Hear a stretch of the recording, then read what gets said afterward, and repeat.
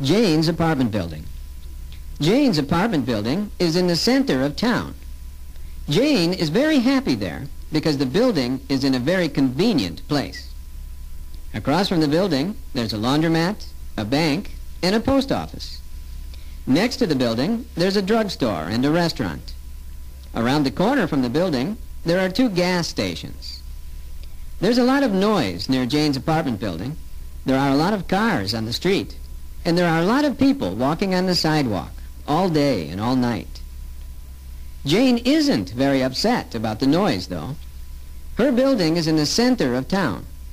It's a very busy place, but for Jane, it's a very convenient place to live.